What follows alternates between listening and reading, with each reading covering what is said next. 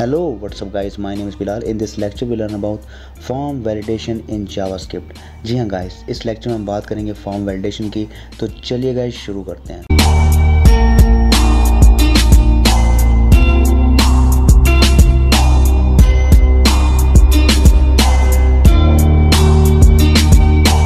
First of all guys हम ऐसा ही एक मेन के फॉर्म क्रिएट करेंगे।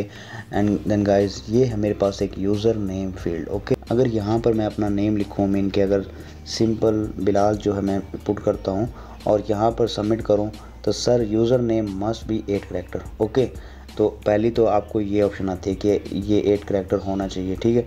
अगर सिंपल अगर इसको ब्लैंक ही मैं सबमिट करता हूँ तो sir please fill the field okay और अगर मैं यहाँ पर लेट से कि अगर मैं 16 से अबव करेक्टर इंटर करता हूँ तो sir user name must be less than 16 character okay तो ये भी आप लगा सकते हैं।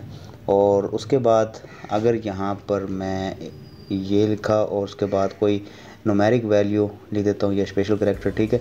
जैसे सबमिट करता हूँ sir alphabetic keyword are allowed सिर्फ़ अल्फ़ाबेटिक जो कीवर्ड है, वो ही अलाउ होंगे ओके तो ये काम हम सारा इस इस लेक्चर में कवर करेंगे ओके तो मैं आता हूँ डिटर पे और इसको मैं कर देता हूँ यहाँ से क्लोज ओके तो ये डेमो के दौर में रेडी किया था और मैं अब इंडक्स पे आता हूँ। ये मेरा इंडक्स फ़ाइल है सेव करता हूँ। ये मेरा इन्फो फ़ाइल है, इसको भी सेव करता हूँ। ये मेरा स्टाइल फ़ाइल है, इसको मैं सेव करता हूँ।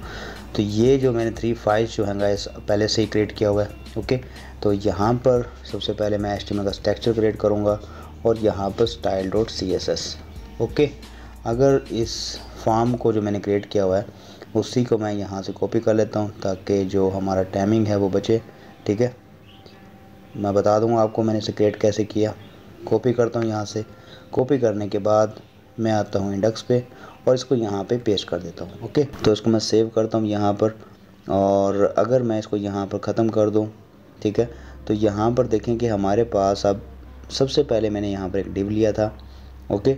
और उसके बाद मैंने एक उसके अंदर फॉर्म लिया, ठीक है? तो और फॉर्म के अंदर मैंने इनपुट फ़ील्ड ली, बिल्कुल सिंपल है, और उसके बाद ब्रेक और ये स्पैन, ओके? और ये है एरर मैसेज हमारे पास, जो मैसेज होगा वो मैंने स्पैन टैग लिया उसके लिए, ओके? लास्ट में मैंने इनपुट टाइप सबमिट लिया, उसको एक आईडी दिया बी उसको एक आईडी दिया, टेक्स्ट, ओके? तो ये काम हमने कर लिया। और यहाँ पर देखें गाइज़ मैंने ऑन सबमिट जो है ये फार्म इवेंट्स जो है मैंने क्लियर कराए हुए हैं, इनके पढ़ाया हुआ है, इनको उसको मैंने, ठीक है? तो अगर आपको ये नहीं मालूम तो आप उसको वॉच कर सकते हैं ऑन सबमिट ओके तो ये क्या है हमारा फॉर्म इवेंट है हमारा, ठीक है? तो यहाँ पर रिटर्न करवाया हुआ है माई फार्म को ओके ये रिटर्न जो है, ये बहुत ज़रूरी है गाइस लिखना आपके लिए यहाँ पर कीवर्ड क्योंकि ये जो डाटा जब जैसे फॉर्म मैं सबमिट करूँगा तो ये डायरेक्ट सर्वर पर नहीं भेजेगा ओके तो आपको एरर शो होगा, वो यहाँ के एरर आपको शो कराएगा ओके तो अब स्टाइल अगर मैं इसको सेव करूँ सेव करने के बाद ओपन एंड ब्राउज़र करूँ यहाँ पर तो अभी के लिए आपको सिंपल ऐसे दिखाई दे रहा है ओके तो जो स्टाइल है वो भी मैं यहाँ से एडअप कर लेता हूँ। तो मैं कहता हूँ मार्काल कॉपी और यहाँ से इसको ख़त्म करता हूँ, यहाँ स्टाइल में आता हूँ और पेस्ट कर देता हूँ, ठीक है? सेव अब डिव को मैं स्टाइल दिया, इसका हाइट वेट सेट किया बीजीसी कलर दिया पैडिंग दिया, ठीक है? उसके बाद टेक्स्ट ठीक है? फ़ोन साइज़ विथ ठीक है, अब जो टेक्स्ट जो है, ये इनपुट फ़ील्ड की मैं कर रहा हूँ। पैडिंग दे रहा हूँ टेन पिक्सल फ़ोन साइज़ इतना हो गया बॉर्डर रेडियस इतना होगा, ठीक है? अब ये बटन का स्टाइलिंग है ओके और उसके बाद ये स्पैन स्पैन को हमने इस कलर ये दिया फैम फोर्ड फैमिली दिया और फ़ोन साइज़ ठीक है? सेम अब अगर रिफ़्रेश करूँ यहाँ पर तो अब आपको स्टाइलिंग इस तरीके से दिखाई देगा ओके तो स्टाइल हमारे पास वही वैसा का वैसा बन के आ गया। अब हमने इस पर अप्लाई करना है JS ठीक है? तो ये काम था बिल्कुल बेसिक ठीक है? मेन के ये मैंने एच में कवर कराया हुआ है। अगर आपको एच टी नहीं आता तो पहले आप उसको कवर करें, ठीक है? एंड देन गाइस फिर आप JS पे आ सकते हैं ओके तो इतना काम हो गया। अब हम आते हैं JS पे। तो JS पे यहाँ पर सबसे पहले हम यहाँ पर जो है एक मेन के मैं यहाँ पर एक फ़ंक्शन क्रिएट करता हूँ। फ़ंक्शन कीवर्ड और फ़ंक्शन का नेम है माई फंक ओके? और यहाँ पर करली ब्रैकेट और यहाँ पर एक वेरिएबल ले रहा हूँ स्टोर के नेम से, ओके? और अब देखिए मैं जैसे कर रहा हूँ, आपने वैसे ही देखना, एक डॉक्यूमेंट है हमारे पास में इनके। ये बोलता है ये डॉक्यूमेंट हमारे पास पूरा एक, ठीक है?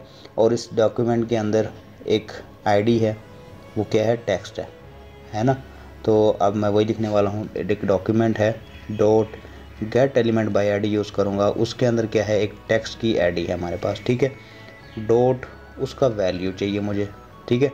सेव इतना सा काम था। मीन के जो भी मीन के जो भी वैल्यू मैं इसमें इंटर करूँगा ना, वो जाके स्टोर होगा आपके इस स्टोर वेरिएबल के अंदर ओके यहाँ तक तो आपको क्लियर हो गया होगा। नेक्स्ट नीचे आता हूँ, यहाँ पर, अब मैं यहाँ पर कंडीशन लगाता हूँ इफ़ अगर स्टोर जो है वो इक्वल इक्वल टू अगर हो जाता है मीन के इम्पटी के मतलब वो अब उसमें कोई वैल्यू नहीं लिखी जाती तो हमें वो एरर शो कराए, ठीक है? तो यहाँ पर लिखूँगा document dot get element by ID अब आईडी जो है, वो हमारे पास है एरर मैसेज एरर एसएमएस ठीक है? वो एरर एसएमएस कौन सा है? वो स्पैन टैग का आईडी ठीक है? वो मैंने कहाँ इंटर किया है? यहाँ पर इंटर किया ओके और डॉट इनर एच ये inner S T S T M L capital okay capital आएगा। ठीक है, यहाँ पर मैसेज देना आपने सर प्लीज़ यहाँ सेमी कॉलन सेव अगर रिफ़्रेश करूँ यहाँ पर तो अब आपको, अगर मैं सबमिट करूँ ना यहाँ पर तो एक चीज़ और गैस आपने यहाँ पर एक और आपने यहाँ टाइप करना है रिटर्न फॉल्स ठीक है रिटर्न फॉल्स ताकि अगर कंडीशन हमारी रॉन्ग होगी तो वो हमें रिटर्न करवाएगा यहाँ पे। तो ये हमें फिर एरर आएगा, ये एरर मैसेज आपको शो होगा। ओके तो यहाँ पर करता हूँ रिटर्न फॉल्स सेव अगर मैं रिफ़्रेश करूँ यहाँ पर और सबमिट करूँ तो तो मैसेज हमें शो नहीं हुआ। तो यहाँ पर मैं देखता हूँ कि मसला क्या है। ओके तो यहाँ पर देखिए हमने माई फॉर्म लिखा हुआ और यहाँ पर फ़ंक्शन का नेम क्या है? माई फॉर्म ठीक है?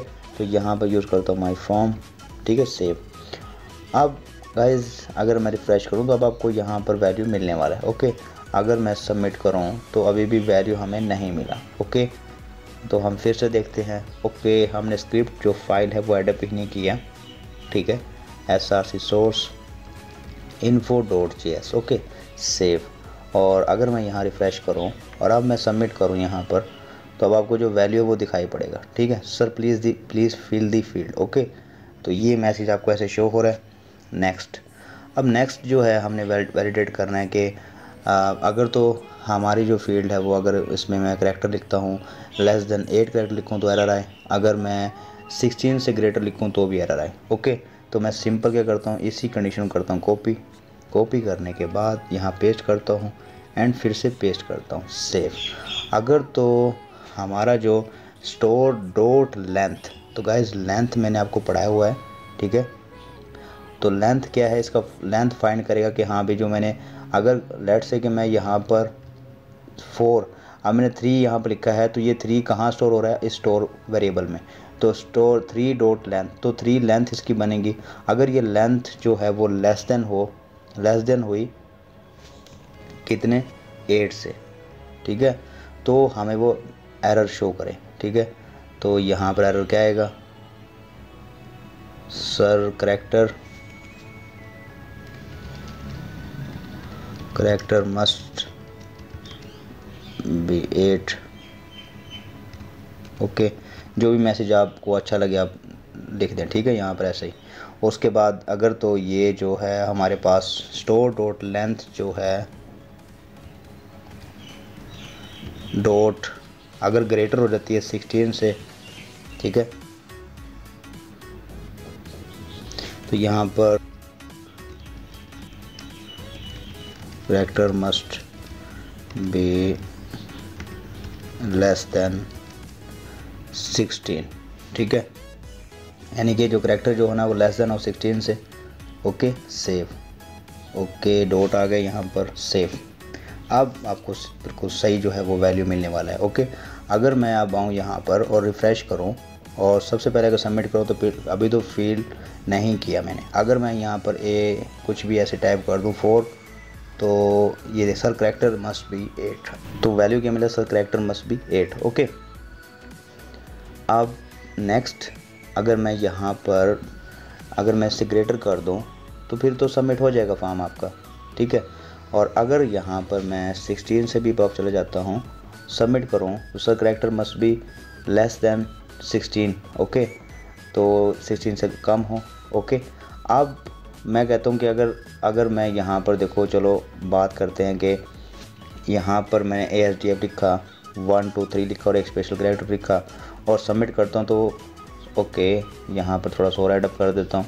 तो फॉर्म फिर भी सबमिट हो रहा है। मैं कहता हूँ कि ये नोमेरिक वैल्यू जो डिजिट है, ये कुछ भी ना हो, ना कोई स्पेशल करेक्टर ओके तो इसके लिए हम यूज़ करेंगे रेगुलर एक्सप्रेशन ओके तो यहाँ पर एक वेरिएबल लूँगा, उसका नाम होगा माई रिजेक्ट्स या, ओके, ठीक है। और यहाँ पर जो है गाइस इसका जो पैटर्न स्ट्रक्चर है ना मैं इनका स्ट्रक्चर वो आपने याद करना है, ठीक है। दो फॉरवर्ड स्लैशेज कोमा और यहाँ पर जो है, ये जो पावर का साइन है, और ये स्टार्ट होता है, ठीक है। इसको हम यूज़ करते हैं स्टार्ट के लिए, और ये और एंड करते हैं डॉलर साइन से, ठीक है। इतना तो आपको याद हो जाएगा। अगर मैं आपको यहाँ दिखाऊँ मैं के आप पहले ब्रैकेट को समझ लें आप। ब्रैकेट क्या है? ये ब्रैकेट होती है, हमारे पास थ्री टाइप ब्रैकेट होती हैं इसमें। अभी ए बी सी है। अब ए बी सी क्या करता है? Find any character between the bracket मतलब जितने भी करेक्टर है, वो किसमें हो? आपके इस ए बी सी यहीं इनमें से ही फाइंड करके देगा आपको। अगर ये पावर का साइन आ जाए तो यहाँ पर find any character not between the brackets okay अगर ब्रैकेट के अंदर आ जाए ये साइन ओके तो नोट अब उनमें से करेक्टर को सर्च नहीं करेगा।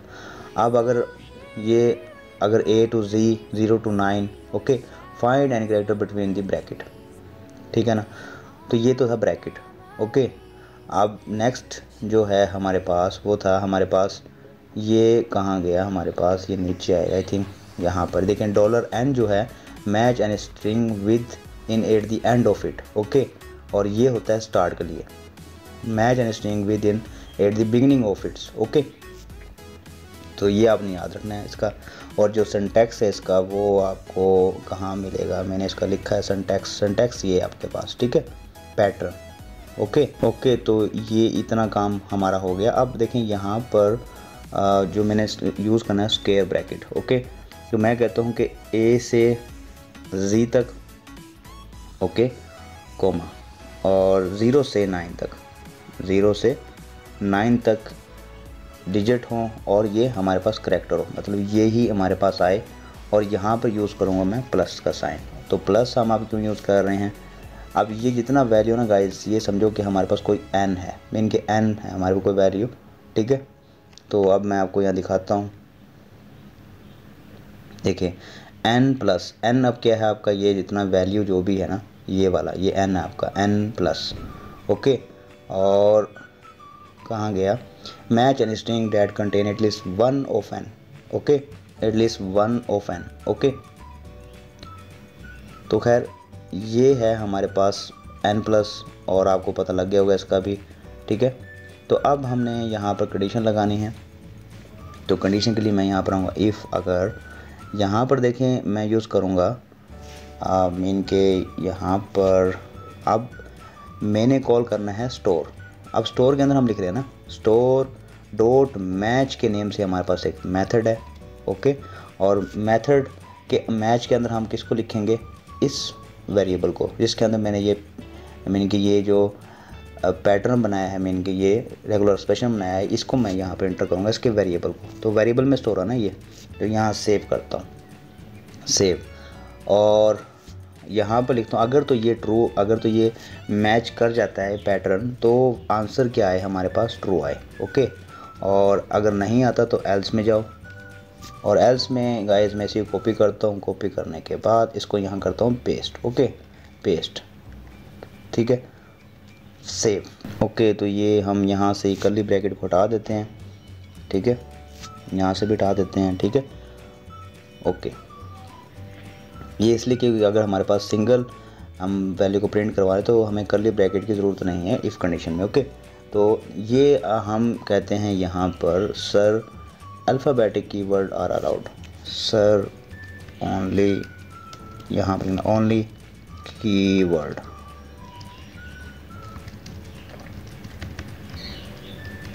ठीक है? सेव अब अगर मैं यहाँ रिफ़्रेश करता हूँ तो अब आप देखिएगा यहाँ पर यहाँ मैंने एच लिखा और वन टू थ्री और एट दी रेट इस तरीके से, ठीक है? सबमिट करता हूँ तो sir only alphabetic keyword are allowed okay तो आप उस तरीके से आप इसको वैलिडेट कर सकते हैं रेगुलर एक्सप्रेशन के थ्रू ओके तो गाइज़ ये था हमारे पास यूज़र नेम को वैलिडेट करने का तरीका ओके तो गाइज़ इस लेक्चर में इतना ही। गाइज़ अगर आपको वीडियो अच्छा लगा, इस वीडियो को लाइक कीजिएगा सब्सक्राइब कीजिएगा। Thank you